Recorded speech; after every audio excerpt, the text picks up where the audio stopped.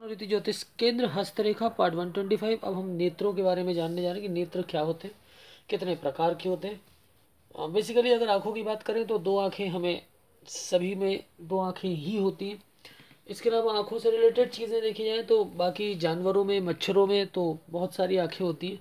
लेकिन जानवरों में भी अधिकतर दो ही आँखें लेकिन मच्छर एक ऐसा प्राणी है जिसमें बहुत ज़्यादा आँखें, सौ आँखें पाई जाती हैं तो वो अलग चीज़ हो गई। चलिए इसकी बात करते हैं।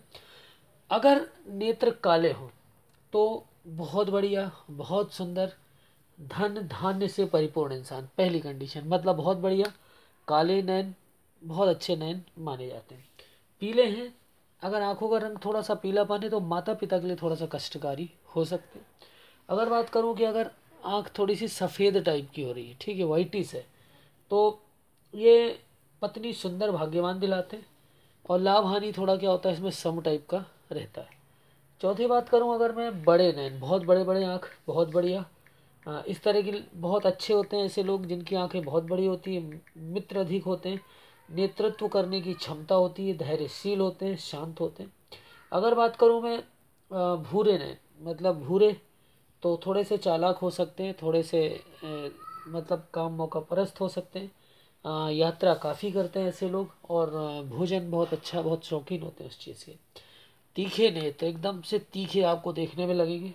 तो तीखे नैनों की बात करूँ तो जल से संबंधित कार्य में ये होते हैं जिनका जो प्रोफेशन भी हो सकता है वो जल से संबंधित हो सकता है। इसके बाद बात करें मोटे। अच्छे खासे मोटे से नैन हैं, आँखें हैं तो ये बहुत बढ़िया धनवान हो सकते हैं। थोड़े से परिश्रम में सफलता मिल जाती है। अगर नैन थोड़े से लाल हो रहे हैं, आँखें लाल हो रही हैं तो ये बहुत थोड़ा सा गुस्से वाले होते हैं। इसके अलावा ये बहुत शूरवीर होते हैं। अगर छोटे नैन हैं बहुत छोटे छोटे तो गरीब हो सकते हैं लेकिन चालाक हो सकते हैं। इसके अलावा सन्यासी हो सकते हैं। तो इस तरह से आँखों की पाँच छः कैटेगरीज हैं। पाँच छः बोल रहा हूँ कम से कम आठ नौ कैटेगरीज उनकी होती हैं जिनमें हम इनको लेते हैं। एक बार फिर से फिर से बता देता हूँ। बड़े छोटे लाल तीखे आ, मोटे आ, काले भूरे सफ़ेद और पीले। तो एक कुल मिलाकर इतने तरह की आँखें होती हैं। जिनका हम इसको वर्गीकरण करके देखते हैं कि कितने तरह के सबसे अच्छे नैन काले होते हैं, बड़े वाले बहुत अच्छे होते हैं। इसके अलावा जो लाल होते हैं, थोड़े से क्रोधी माने जाते हैं। तो ये था आँखों पर वीडियो। वीडियो अच्छा लगा तो लाइक शेयर सब्सक्राइब करें। धन्यवाद। अगले वीडियो तक नमस्कार।